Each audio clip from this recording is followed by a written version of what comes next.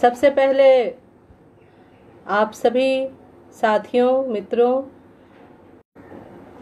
को नमस्कार और बहुत बहुत आभार कि आज आप मुझे सुनने के लिए यहाँ आए। मैं जन सरोकार मंच टोंग की भी बहुत आभारी हूँ कि उन्होंने अपने इस मंच पर मुझे आने के लिए निमंत्रण दिया, आने आमंत्रित किया मुझे।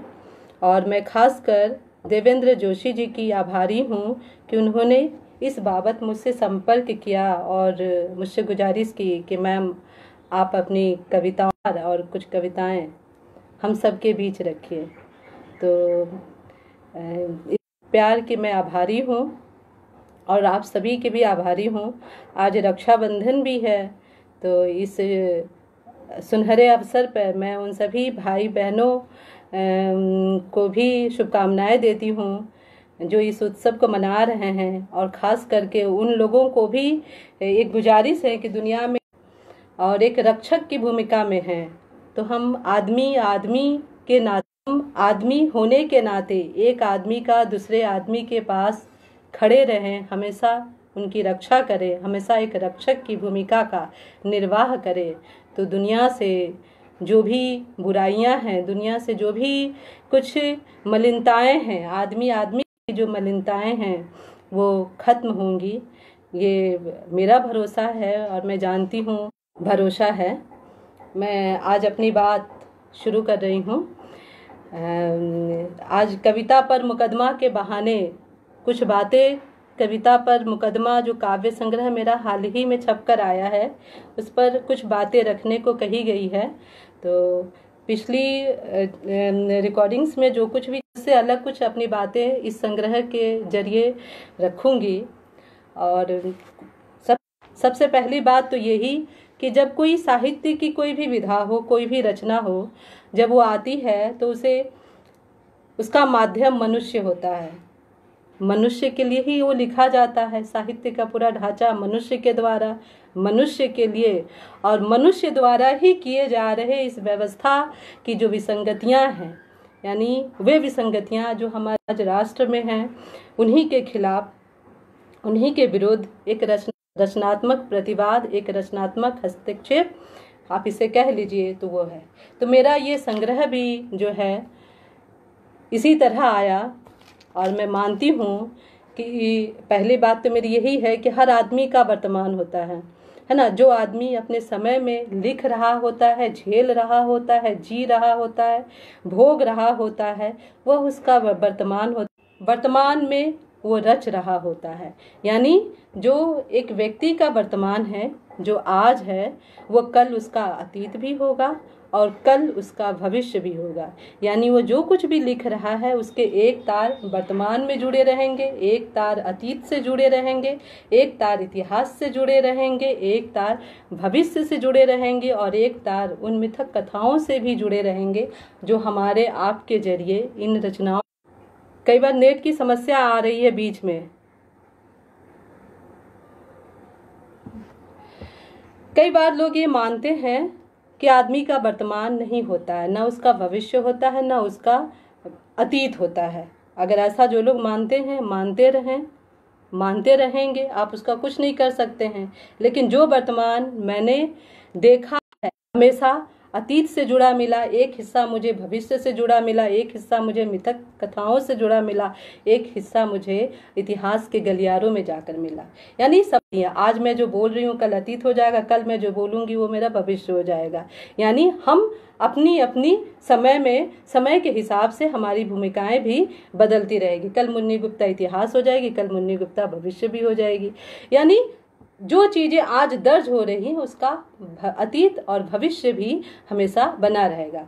यानी जैसे कि मैंने इस किताब में ही कुछ नामों को दर्ज किया है, कुछ नामों को दर्ज किए जाने से कुछ लोगों को संजय का एक नाम वर्तमान में भी है, संजय का एक नाम आप भविष्य में भी देखेंगे वर्तमान में। यानी जो संजय अतीत में था, अतीत के इतिहास में था और वो भविष्य को देख रहा था, वर्तमान को देख रहा था, उसके पास उसकी अपनी दृष्टि थी भविष्य को, वर्तमान को देखने की। आज जो संजय है, वो भी युद्धों के इतिहास को देख रहा है, सारे मुल्कों के इतिहास को देख रहा है और वह संजय, वास्तव में जो आज का संजय है, वो कल के संजय से अलग है। कल जो संजय था, उसके पास एक दिव्य दृष्टि थी। की दृष्टि है, जिसे हम दिव्य दृष्टि नहीं कह सकते वो एक चरित्र है, आप उसे कह लीजिए, आप कह सकते हैं। कई बार ये प्रश्न मुझसे भी पूछा गया कि आप जिस संजय को जानती हैं, ये कविता क्या उसी संजय के लिए लिखी गई है? मेरा मानना है कि नहीं, मैंने उस संजय के लिए कविता नहीं लिखी। यह संजय एक चेतना है, जो कि छल छल प्रपंच से भरी गई इस दुनिया में जो दिखाई दे रहा है, वो वास्तव में उस इतिहास के संजय का नाम धारण किए हुए आज भी वर्तमान में अपनी कुदृष्टि के कारण, अपने छल प्रपंच के कारण, अपने समय और समाज को एक गलत दिशा दे रहा है, धोखा दे रहा है, भ्रमित कर रहा है। हमें ऐसे संजय को भी पहचाने जाने की ज़रूरत है। जो भी इतिहास का किसी भी नाम को वे, जिस व्यक्ति ने धारण किया है, उसे अपने नामों को भी सार्थक किए जाने के बारे में सोचना चाहिए। यानी अपनी ही परछाई स्वयं को कि अपनी ही परछाई खुद को धोखा देने लगी है। ऐसे भी संजय हैं, ऐसे भी दामोदर हैं, ऐसे भी विद्याधर हैं, जो इतिहास में कुछ थे, वर्तमान में कुछ हैं और भविष्य में भी कुछ और होंगे। तो यह जो बुनावट है, पूरे इस संग्रह की कथा की बहुत सारी बनावटें हैं, उसकी एक बुनावट जो यह है, उसका कुल कि आप जो कुछ वर्तमान में होते हैं, उसका इतिहास भी होता है, उसका भविष्य भी होता है। अगर आप अपने नाम जिस नाम को आप ग्रहण कर रहे हैं, अगर आपको उसका इतिहास, भूगोल, मिथक कुछ भी पता नहीं है तो आप अपने बारे में ही, असल में गफलत में हैं कि आप हैं क्या? है ना? अपने भीतर की ही की चीज़ों को आप नहीं जानते हैं कि असल में आपके भीतर का जो आदमी है, वो जिस नाम को धारण कर रहा है, वो असल में उसका स्वभाव और चरित्र क्या है? दूसरी बात यह है कि हर आदमी लड़ रहा है। एक संघर्ष की स्थिति उसके पास दुनिया में आया है तो चाहता है वो कुछ करके जाए। हम सभी, आप जो भी इस दुनिया में सांस ले रहे हैं और खुद को मरा हुआ नहीं मानते हैं, ज़िंदा मानते हैं। एक दुष्यंत ने एक बार, दुष्यंत की अगर कविता आपको याद हो कि है पीर पर्वत सी कविता में एक लाइन वो दर्ज करते हैं कि हर मोहल्ले ठीक से लाइन मुझे याद नहीं आ रही है शीर्षक यही है कि एक ला, हर लाश चलनी चाहिए, हाथ उठाते हुए हर लाश चलनी चाहिए। तो हम, एक लाश होता है ज़िंदा आदमियों की लाश, जो इस समाज में चुप रहते हैं। एक होता है वो आदमी, जो इस समाज में कुछ नहीं कर पाता है, वो अपनी चुप्पी के साथ जीता है, लेकिन फिर भी वो अपने आप को कहीं ना कहीं दर्ज कर रहा होता है। आपको कहीं ना कहीं अपने बहाने उस दुनिया के सारे लोगों के बारे में दर्ज कर रहा होता है, जो कहीं ना कहीं इस समाज में, इस दुनिया में, इस पूरे मुल्क में देश दुनिया के भौगोलिक सीमाओं को पार कर जाइए, किसी भी मुल्क में जाइए, वो कहीं ना कहीं उस आदमी की पीड़ा को अपनी भाषा, अपनी बोली, अपनी जबान अपनी संस्कृति में वो पूरी दुनिया की बात कर रहा होता है। तो मैंने भी इस किताब के बहाने, मैं इसमें कोई आदर्श, नैतिकता और मर्यादा की कोई बात नहीं कर रही हूँ, मैं बस जितने परस भी रहेगा, जितने दिन तक साँसें लेगा, वो चाहता है कि वो भविष्य के गर्भ में अपने किए हुए को छोड़ जाए। अपना जो काम वो जिस दुनिया में, जिस मकसद से आया है, वो अपने जीने को सार्थक कर सके, अपने होने को सार्थक कर सके, अपने अस्तित्व को सार्थक बना सके, अपनी आइडेंटिटी को छोड़ सके और देखेंगे कि दुनिया में जो कुछ भी, जो भी लेखक हैं, समाजकर्ता हैं, जो आज से भी हैं। वो आखिर क्या करते हैं? उन्होंने भी तो यही किया। जो हमारे यहाँ बड़ी बड़ी शख्सियतें हुई बड़े बड़े लोग हुए, उन्होंने क्या किया?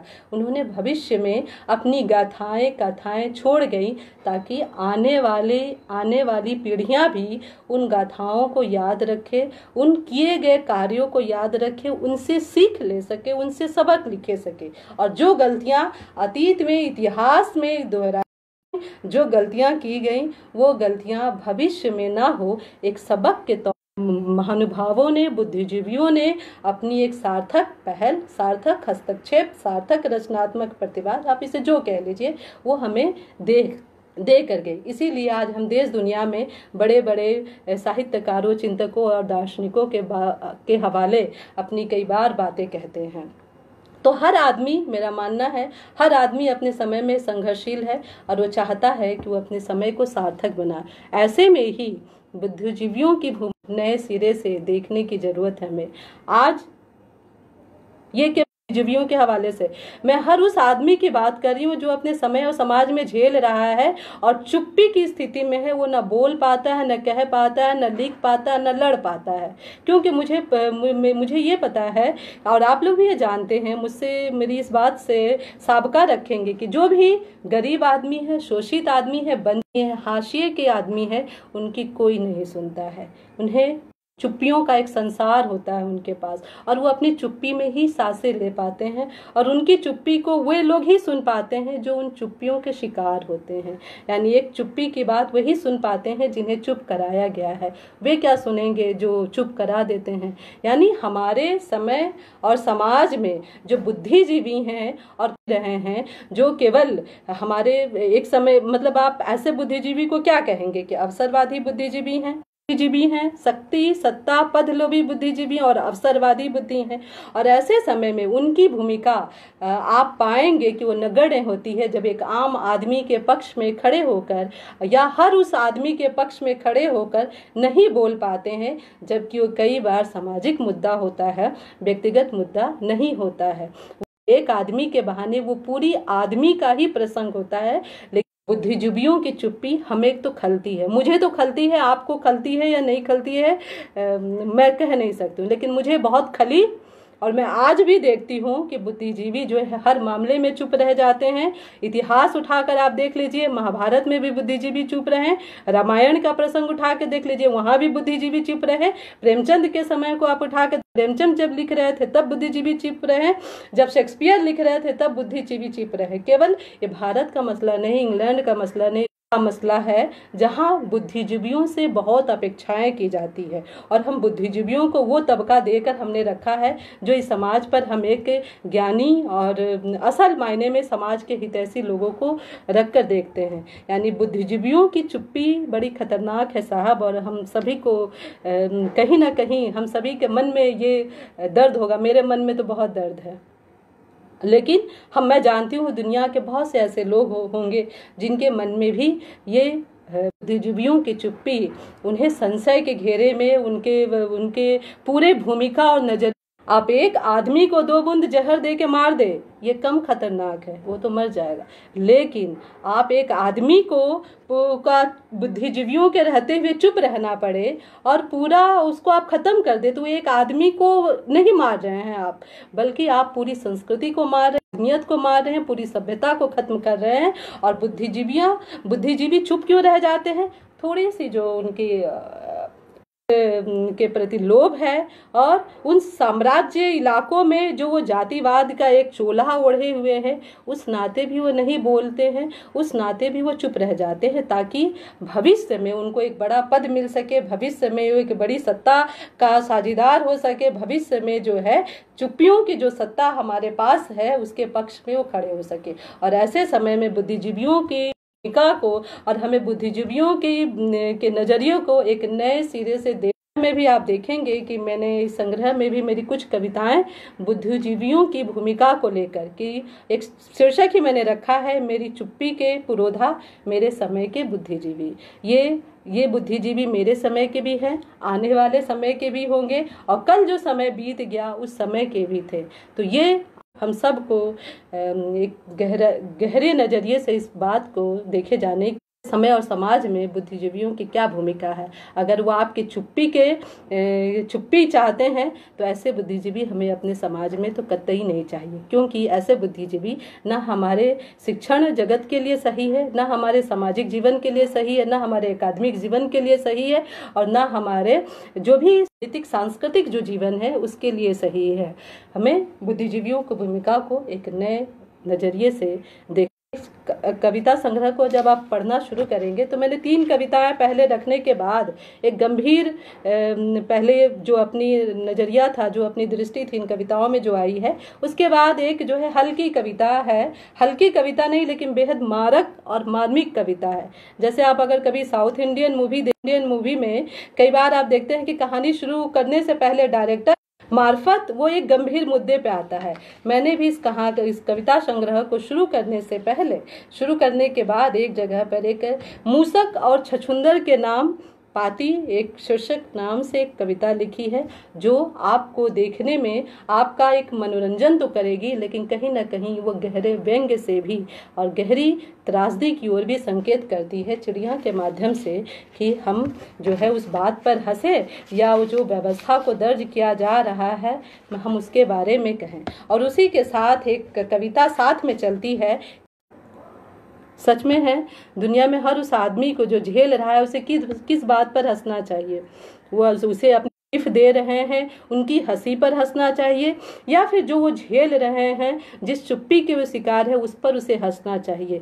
वो हर वो आदमी तय करे कि वो किसके लिए हंसे और किस बात पर हंसो। मैंने भी उस मुसक और छछुंदर के नाम पाती के बाद अपने संग्रह के अगली कविता में किस बात पर हंसूं, जो कि मेरा सवाल है उन बुद्धिजीवियों से भी। आप चुप रह जाइए। उनसे भी कहते हैं कि हंसो और समय को भूल जाओ, कल वो बेहतर समय आएगा। तो साहब, मैं उस समय में, जिस समय मैं रो रही होती हूँ, तमाम लोग जिस समय में दुख झेल रहे होते हैं, मैं तो ऐसे समय में हंस नहीं सकती। माफ़ कीजिएगा, मैं हंस नहीं सकती हूँ। और मुझे उन लोगों की बुद्धि पर भी आश्चर्य होता है जो ऐसे समय में मुझे चुप रहने के लिए और मुझे हंसने के लिए प्रेरित करते हो। मैं तो हंस नहीं सकती।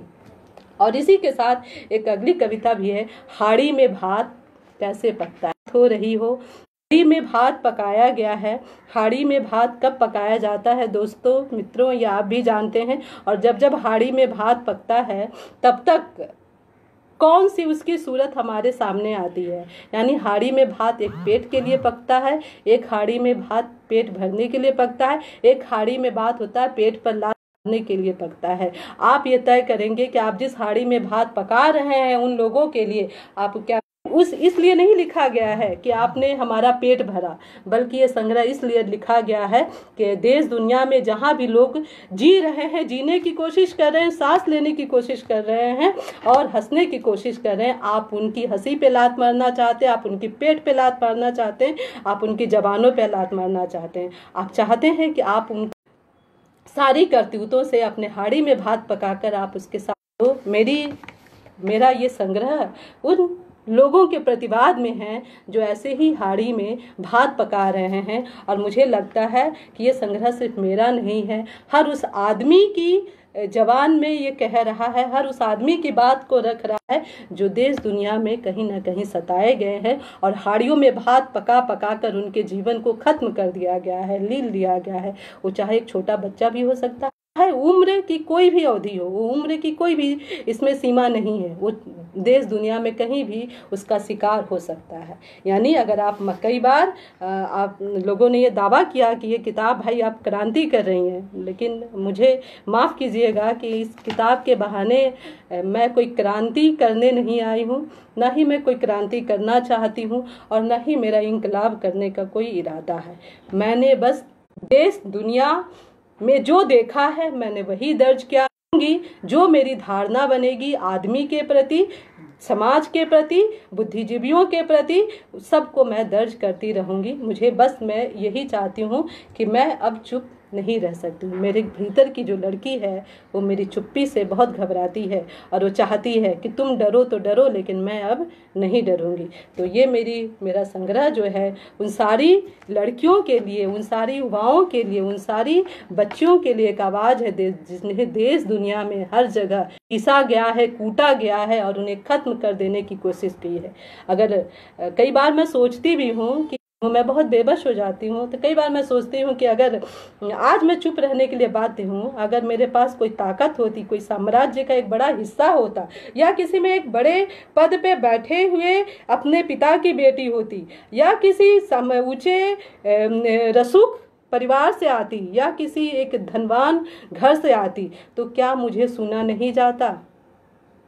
तब आपकी चुप्पी का कोई मायने ही नहीं होता, तब आपकी ऐसे में आपकी चुप्पी का कोई सवाल ही नहीं होता। कर सुनते, पूछते, भाई, कहिए कि क्या बात है? लेकिन जब एक ऐसी लड़की जब ऐसे जगह से आती है और मेरी तरह तमाम लड़कियाँ हैं जिन्हें कोई नहीं सुनता है उन्हें सुना वो अपनी बात कहने के लिए कई बार कोशिश करती हैं, लेकिन कोई उसको सुनने वाला नहीं होता है। ऐसे में आपको अपनी भीतर की चुप्पियों से खुद भी बात करनी होती है। ये चुप्पियाँ जो है, चुप्पियों के भीतर से चुप्पियों तक की यात्रा है। ये संघ संग्रह जो है, एक तरह से चुप्पियों का दस्तावेज़ है। एक ऐसी चुप्पी जो भीतर ही भी हज़ार शख्स के भीतर चलती रहती हैं और वो लगातार चलती रहती हैं। यह संग्रह एक तरह से चुप्पियों का संग्रह है, जो अपने ही भीतर ये संग्रह उन लोगों का भी है जो अपने ही भीतर उन लोगों तक अपनी बात पहुँचाने की कोशिश करते हैं, जो देश दुनिया में कहीं ना कहीं मेरी ही जैसी या मेरी जैसी तमाम हालातों के शिकार हैं। तो ये चुप्पियाँ उनको भी कम से कम ताकत देंगी कि वे भी अपने समय को दर्ज करें। मेरी मांग ये है, दोस्तों, अपने समय को दर्ज करें, क्योंकि जब जब आप दर्ज करेंगे, आपके समय के बीच बीच में नेट शायद डिस्कनेक्ट हो रहा है, मैं माफ़ी चाहूँगी इस रुकावट के लिए। मेरा कहना है कि ये देश दुनिया में जहाँ कहीं भी जो काले चेहरे हैं, जो हत्यारे चेहरे हैं, जो खतरनाक चेहरे हैं, आप अपने को दर्ज करेंगे तो वो आपसे भागेंगे। यानी हमारे समय का भेड़िया जो हमारे बीच है, वो आपके लिखने से, आपके बोलने से, आपके रचने से वो समय से वो आपसे दूर भागेगा। इसलिए दर्ज है, ज़रूरी है अपने समय को और खुद को दर्ज करना। अगर आप इतिहास में जाकर देखते हैं तो भगत सिंह और चंद्रशेखर आज़ाद की आप लड़ाइयाँ देखें कि कैसे उन्होंने अपने समय में चुप्पियों के साथ ही सारी कागजों पर बैठकर लिखा पढ़ी करके, चुपचाप करके अपने कार्यक्रमों को, अपनी योजनाओं को अंजाम देते थे। तो ये चुप्पियाँ चुप्पियों की क्रांति है, चुप्पियों से चुप्पियों तक की यात्रा है और अगर चुप करा दिया जाए तो भी फिर आप भी, फिर लगातार आप बोलते रहिए। कैसे भी बोले, ज़रूरी है बोलना। जैसे कि एक ब्रेल लिपि हमारे समय समय में ही डेवलप हुई है, विकसित हुई है, उनके लिए जो देख नहीं पाते हैं और ब्रेल लिपि के माध्यम से ही वो पूरी जानकारियाँ बधिरों को देखिए, जिनको सुनाई नहीं देता है, लेकिन जो बधिर होता है, वो उनकी, उनसे उन तक बात पहुँच जाती है। जो गूँगे व्यक्ति है समाज में, गूँगे अपने हाव भाव के ज़रिए, आंगिक भावों के ज़रिए अपनी बात एक दूसरे तक पहुँचते हैं। यानी आप जिससे बोल रहे हैं, जिससे कहना चाहते हैं, वहाँ तक आप, आपकी बातें पहुँच जाती हैं। आप भले ही ना बोले, लेकिन वहाँ तक आपकी खामोशियाँ, आपकी चुप्पियाँ, आपकी जो बातें हैं, उन तक पहुँच जाती हैं। ये चुप्पियों की आवाज़ें कहीं रुकती नहीं है। वो भीतर ही भीतर बहुत दूर तक पहुँचती हैं। जैसे कि आज आप सभी हमसे जुड़े हैं। मेरी चुप्पियों के संग्रह पर आप मुझे सुन रहे हैं। मैं इसके लिए आपके भी आभारी हूँ। है ना? एक जगह फिर मैंने इसमें आई है, आगे भी एक बात मैंने की है कि कि हाड़ी में भात के बाद जो है, पढ़े लिखे लोगों की जमात। मेरे इस संग्रह पे एक आरोप ये भी है कि ये एक शिक्षक कम्युनिटी के खिलाफ लिखी गई, के मेरी कविताएँ हैं कुछ, जो पूरे शिक्षक कम्युनिटी को बदनाम करती हैं। मैंने, मेरा ऐसा कोई इरादा नहीं रहा है, ना ही कभी मैंने शिक्षकों के विरुद्ध कभी, है। मैं, लेकिन लोगों के चेहरे पर एक नकाब है, वे सामने कुछ और है और भीतर कुछ और है, उनको मैंने ज़रूर दर्ज किया है और मुझे लगता है कि मेरे जैसे तमाम लोग होंगे जो उससे, इसको, इसके लिए मैंने पढ़े लिखे लोगों की जमात पर भी बात की है। कोरे कागज़ पर हस्ताक्षर, जो इतिहास से चले आ रहे आज तक, आप अपने अपने समय में अपने अपने समय के प्लेन कागज़ पर किए गए हस्ताक्षर का अलग अलग संदर्भों में अर्थ निकालेंगे। कभी प्लेन कागज़ पर हस्ताक्षर इसलिए लिए जाते हैं ताकि आपकी सारी जायदाद हड़प ली जाए। कभी एक कागज़ पर हस्ताक्षर इसलिए भी लिए जाते हैं कि आपके खिलाफ एक बड़ी मुहिम आपको है, आपको पूरी तरह से इस पृथ्वी से खत्म किया जा सके, इस दुनिया से खत्म किया जा सके, आपकी आइडेंटिटी को खत्म किया जा सकते। तो मेरा मानना यह है कि आदमी कब्रगाह तो नहीं है। एक शीर्षक कविता है, आदमी कब्रगाह तो नहीं है। अगर वो ज़िंदा है और उसमें थोड़ी सी भी चेतना और उसके भीतर थोड़ी सी भी मानवता बची है तो वो प्रतिवाद करेगा, लिखेगा। हाँ ये बात अलग है कि उसके प्रतिवाद के क्या तरीके हैं। वो आदमी उसके तरीके खुद ईजाद करेगा, खुद अख्तियार जो उसके भीतर धड़क रहा है, एक दिल जो उसके लिए धड़क रहा है और जो चुप बैठे हैं लोगों तक अपनी आवाज़ें पहुंचाएगा। यानी पत्थर की आवाज़ें पत्थर पहचान लेता है, झरने की आवाज़ें झरने पहचानते हैं, पक्षियों की आवाज़ें पक्षी भी पहचान लेते हैं, आदमियों की आवाज़ें आदमी भी पहचान लेता है।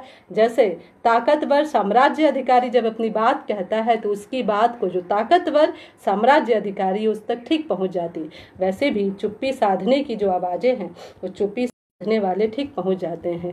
और इसीलिए मैंने कहा कि जब आपने चुप्पियाँ भी नहीं सुनते हैं तो एक एक कविता मैंने इस पर भी बात की है कि आओ थोड़ा थोड़ा ही सही सुने। तो मैं जो थोड़ा थोड़ा सुना रही हूँ, उसे आप सुने। कम से कम ये मैटर करता है कि आप क्या सुन रहे हैं और किससे सुन रहे हैं। और आप उस सुने हुए को कहीं कुछ चुप्पियों के बहाने या शब्दों के बहाने सुनाएँगे या नहीं सुनाएँगे। फिर मैंने उसमें ये कविता भी, अगली कविता जुड़ती है कि सनद रहे कि क्या, हासिल क्या किया। ठीक है? तो दुनिया में जहाँ कहीं भी कवि कवि लिख रहे हैं और हम जानते हैं इस बात से, आप सभी परिचित हैं कि दुनिया में ज़्यादा कवियों ने लिखा, सबसे ज़्यादा कवियों ने सुना, सबसे ज़्यादा कवियों ने गुना। यानी दुनिया में जहाँ जब भी बहुत कुछ लिखा गया, कवियों के द्वारा लिखा गया, बहुत कुछ गुना गया, कवियों के द्वारा लिखा, किया गया और बहुत कुछ जब बाछा गया तो कवियों के द्वारा बाछा गया। लेकिन हम उन कवियों के पराले, जो जो दूसरी ओर आदमी की हत्या भी करता है। कविता की भी हत्या करता है। वो कविता के भी हत्यारे हैं, आदमी के भी हत्यारे हैं। मैंने ऐसे कवियों के झुंड को भी अपनी इस कविता में दर्ज किया है और कहा है कि हाँ ये हमारे समय के शिकारी कवि हैं। ये हमारे समय के के हत्यारे हैं जो कविता की हत्या करना चाहते हैं। तुम डरा नहीं पाओगे, चाहे जितनी बार भी आओगे, जितनी मजबूती के साथ आओगे, अपनी कविताओं में खड़े होकर आओगे, अपनी ताकत के साथ खड़े होकर आओगे, अपनी यदि पलटन के साथ खड़े होकर आओगे तो भी ना तो मुझे डरा पाओगे, ना मेरी चुप्पी को डरा पाओगे, ना मेरी कविता को डरा पाओगे। ये कविता संग्रह जो अब शुरू हुई है, जो एक यात्रा, चुप्पियों की यात्रा एक शुरू हुई है, अब ये कभी थमेगी नहीं। तो ये संग्रह कुल मिलाकर एक तरह तरह की दिन दुनिया की जो भी चीज़ें हैं, उसको लेकर आई हैं। इसके बीच में बहुत सारी कविताएँ हैं, जैसे दुर्गा चली गई और वो है वो जो आखिरी ईश्वर था वो मुझसे रुखसत बात, फिर माली की चिंता बड़ी है।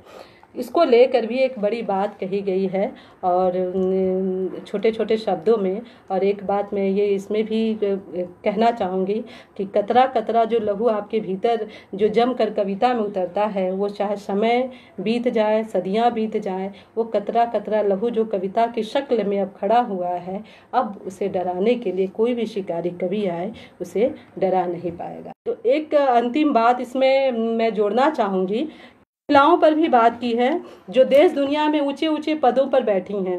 देश दुनिया में अच्छे अच्छे अहदेदार पदों पर शामिल है। स्त्री मुक्ति की बात करती हैं, स्त्री चेतना की बात करती हैं, स्त्री विमर्श की बात करती हैं, स्त्री सशक्तिकरण की बात करती हैं। लेकिन दूसरी ओर, जब स्त्री के अधिकारों की बात आती है तो अपने पैरों के नीचे स्त्री के को दबा ले जाती है। वो नहीं चाहती हैं, पढ़ी लिखी रसुखदार होकर भी, पदों पर बैठकर भी पर बैठ कर भी कि कोई लड़की उसके जूते की नोक से बाहर निकलकर एक मज़बूत शख्सियत के साथ, एक मज़बूत पहचान के साथ, एक मजबूती आइडेंटिटी के साथ वो खड़ी हो सके। ऐसी भी महिलाएँ हैं हमारे समाज में जो चाहती हैं कि सारी दुनिया की जो स्त्रियाँ हैं, वो उसके पैर के नीचे दबी कुचली पड़ी रहें। ऐसे भी शिक्षक महिलाएँ हैं जिन्होंने अपने आगे न किसी लड़की को एक कवि दिया, न एक लेखिका के रूप में उभरने दिया और सबसे बड़ी बात, एक मनुष्य के रूप में भी उसे उभर और एक बार नहीं, जब जब उन्हें मौका मिला, तब तब उन्होंने कोशिश की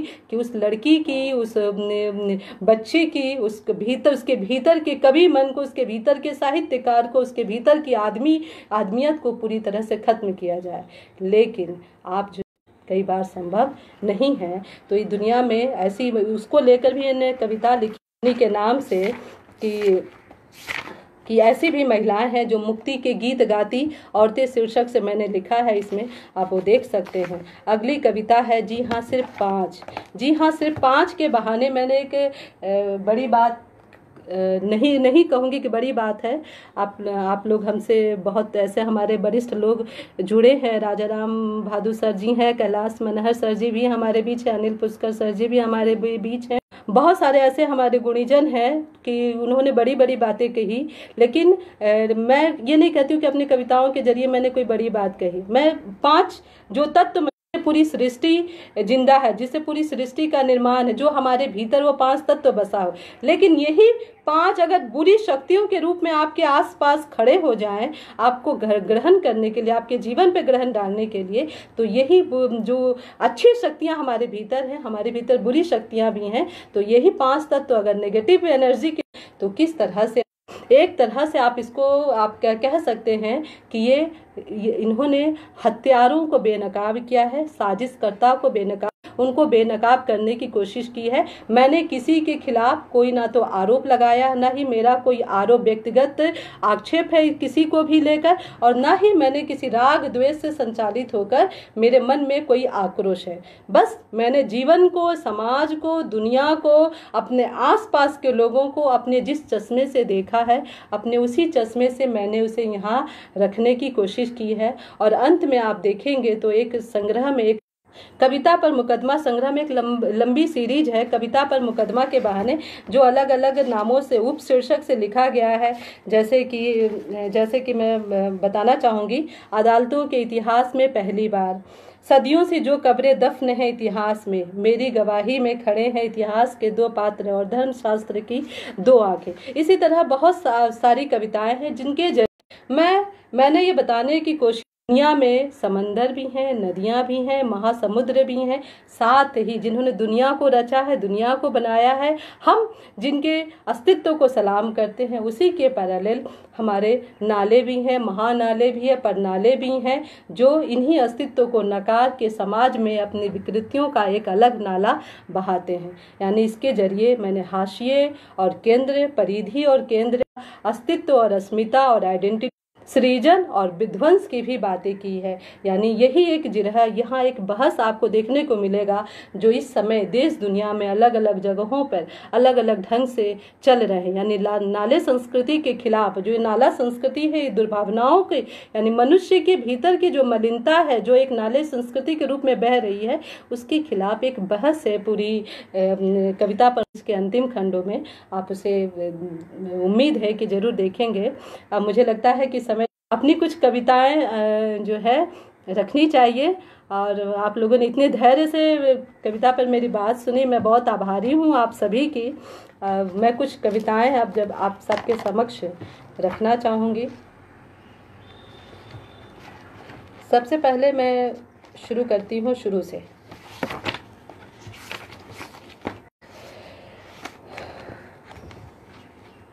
शीर्षक एक कविता है। सुनो विद्याधर, तुम ब्रह्म नहीं। नहीं, विद्याधर। दानिशमंद समंदर में एक महकमे का माहिर।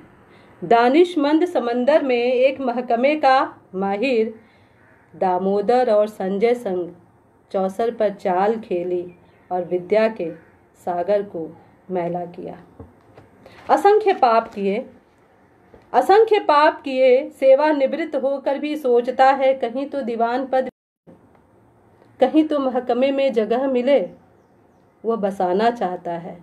वह बसाना चाहता है एक विद्याधर नगर होगा। वह बसाना चाहता है एक नया नगर। यह सवाई जयनगर नहीं, विद्याधर नगर होगा। मगर होगा? ऐसा होगा? विद्याधर नगर होगा? एक क्वेश्चन मार्क है। पहले भी एक चांद्र महल चा, पहले भी एक चंद्र महल सात मंजिला विद्याधर ने ही बनवाया था। शिल्प शास्त्री मिल जयगढ़ के प्रसिद्ध किले की इमारत रखी। हाँ हाँ ये सच है है ये विद्याधर भी ब्राह्मण है कौमी ब्राह्मण। वैदिक ब्राह्मण नहीं कौमी ब्राह्मण। इस विद्याधर से कौन पूछे कि ब्रह्म का अंड और पिंड कहाँ है? इस विद्याधर से कौन पूछे कि इस ब्रह्म का अंड का सागर है? विद्या का, सुनो विद्याधर। सुनो विद्याधर, ये विद्याधर, ये ब्राह्मणों का नगर नहीं, इसे तुम पाप का नगर नहीं बना सकते। इससे पहले इससे पहले कि इतिहास में चुनवा दिए जाओ, समृद्ध विद्या के सागर को छोड़ कहीं और चले जाओ। छोड़ कहीं और चले जाओ। अगली कविता का शीर्षक है, मैं किस बात पर हंसूं? मैं किस बात पर हंसूं? तुमने मुझसे कहा, हंसो। तुमने मुझसे कहा, हंसो। मैं भी हंसना चाहती हूँ। तुमने मुझसे कहा, हंसो। मैं भी हंसना चाहती हूँ। पर तय करो। पर तय तो करो किस बात पर उस बात के लिए जब तुमने मेरी उंगलियों को तोड़ कलम छीन ली थी, या उस बात के लिए हंसूं जब सरे राह मेरी मुस्कान को नीलाम कर बाज़ार बना डाला मुझे। जब सरे राह मुझे नीलाम कर मुझे बाज़ार बना डाला, उस बात के लिए हंसूं। कहो, किस बात के लिए हंसूं? जब मेरे पैर काट कर अपने साम्राज्य के तंग तंग कर लिया उस बात के लिए हंसूं, जब मेरे आज़ाद पंख नोचने की साजिश रची थी। या उस बात के लिए हंसूं, जब तुम मुझे अपाहिज बनाने की हर दाव चल रहे थे। तुम ही कहो, तुम ही कहो किस बात पर हंसूं, मैं किस किस बात पर हंसूं। मैं हंसना चाहती हूँ, सच में मैं हंसना चाहती हूँ, पर पहले यह तय तो करो किस बात पर हंसो। एक छोटी सी कविता है, हाड़ी में भात तभी पकता है। आप सभी जानते हैं कि हाड़ी में चूल्हा लाए जब कोई लकड़ी लाए जब कोई आग जलाए, तब जाकर हाड़ी में भात पकता है। तो लेकिन अगर आग ना हो, न तो हाड़ी का महत्व है, ना आग का महत्व लकड़ी का महत्व है और ना भात का महत्व। पक ही नहीं सकता है भात। तो आग जो है जीवन की बुनियादी ज़रूरत है।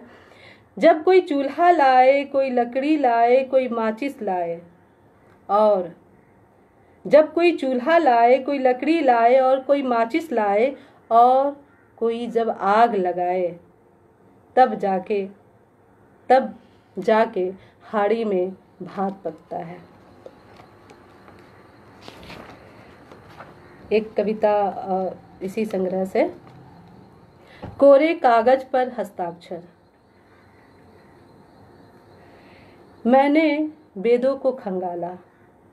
मैंने वेदों को खंगाला, कोरे कागज़ पर हस्ताक्षर नहीं मिले। मैंने पुराणों को खंगाला कोरे कागज़ों पर हस्ताक्षर नहीं मिले। मैंने उपनिषदों को खंगाला, कोरे कागज़ों पर हस्ताक्षर नहीं मिले। मैंने मैंने दुनिया की सारी पवित्र किताबें खंगाली, कोरे कागज़ों पर हस्ताक्षर नहीं मिले।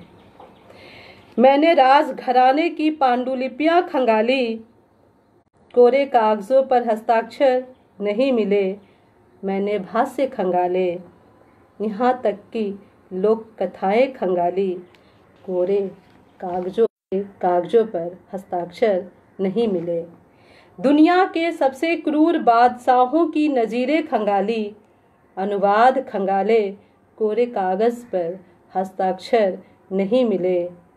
आश्चर्य। आश्चर्य तब हुआ जब ज्ञान के समंदर में बैठे, किसी विदूषक ने मासूम और बेकसूर हाथों से कागजों पर सूर हाथों से कोरे कागजों पर हस्ताक्षर करवाए, इतिहास बदलती आ रही है, वे इबारतें इतिहास बदलती आ रही हैं, वे इबारतें जो ऋचाओं में नहीं, तुमने लिखी है। मगर मगर भुलावे में लिए कारगर होंगे। जरा ये तो बताओ।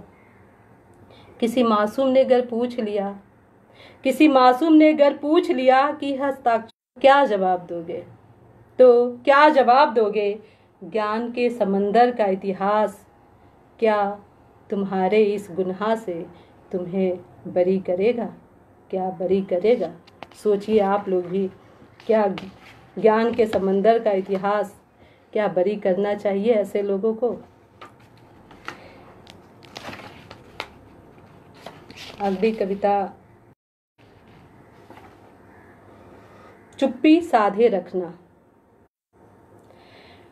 मैंने एक पौधा रोपा, मैंने एक पौधा रोपा, खाद पानी से सींचा, साथ ही उसके कानों में मंत्र पढ़ा। चुप्पी साधे रखना, चुप्पी साधे रखना। पौधा पेड़ की शक्ल में निकल आया। पौधा पेड़ की शक्ल में निकल आया। अचंभा ये हुआ।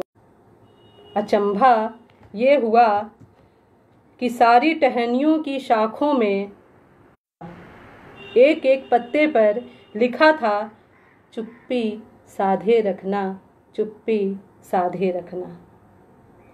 जैसे जैसे पत्ते घनियाने लगे, टहनियाँ झुकती गई। जैसे जैसे पत्ते घनियाने लगे, टहनियाँ झुकती गई।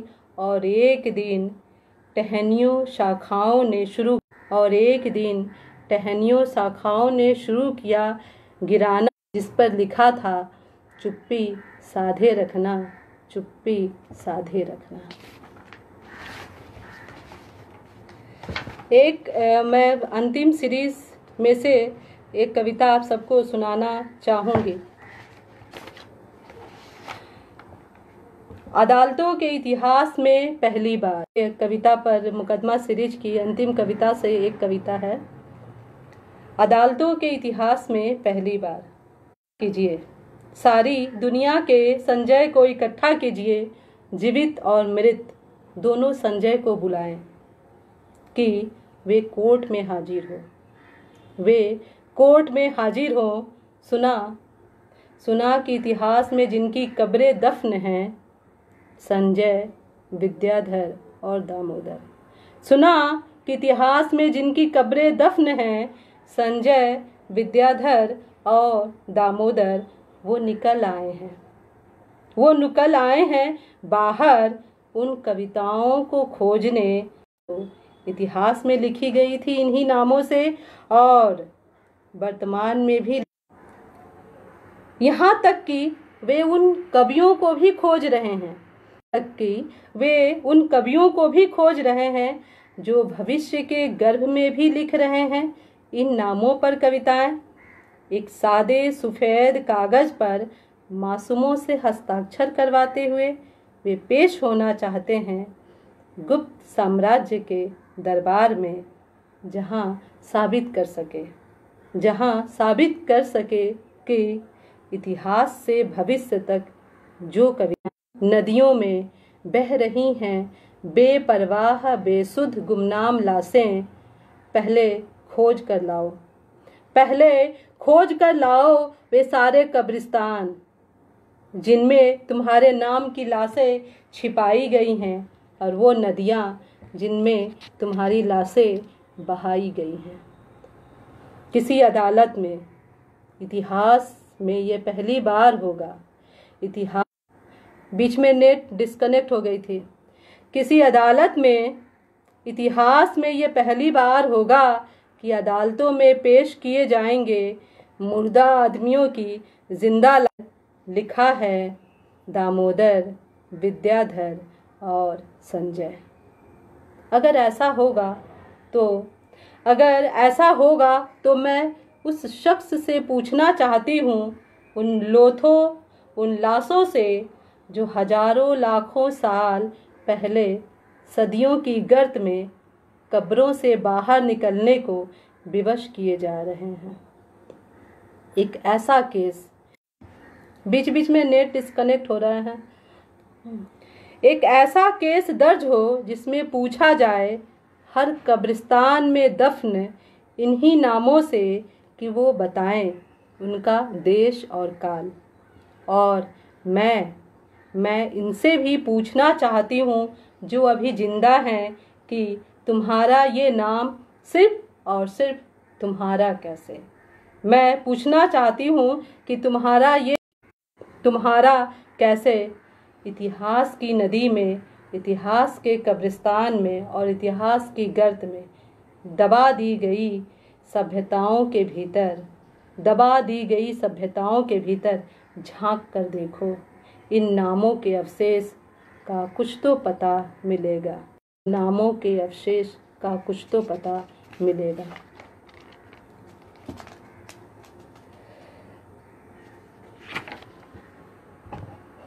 एक छोटी सी कविता है, मैं और मेरा समय। आज का वक्त तुम्हारा है। आज का वक्त तुम्हारा है। कल का यकीनन मेरा होगा। कल का यकीनन मेरा होगा। आज तुम अपनी ज़मी पे अपने निशान देते रहो। कल तुम्हारी ज़मी पे मैं अपने निशान छोड़ जाऊँगी। कल तुम्हारी ज़मी पे मैं अपने निशान छोड़ जाऊँगी।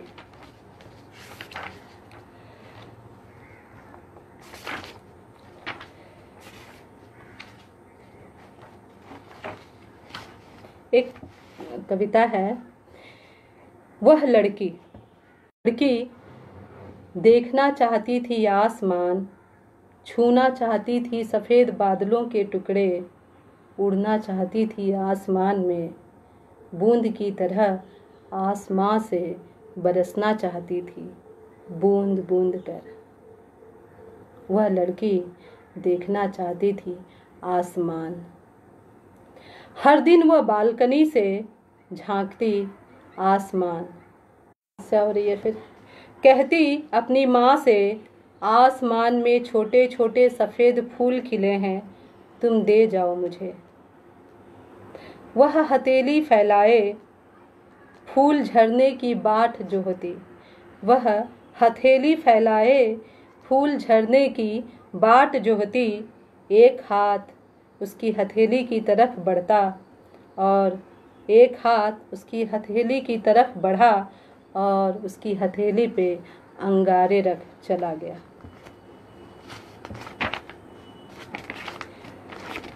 कविता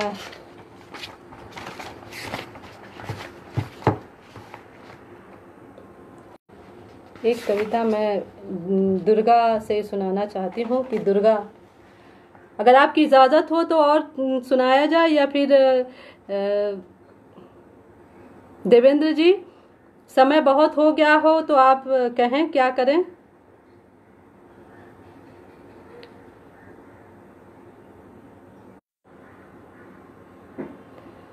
जनता की जनता की आवाज़।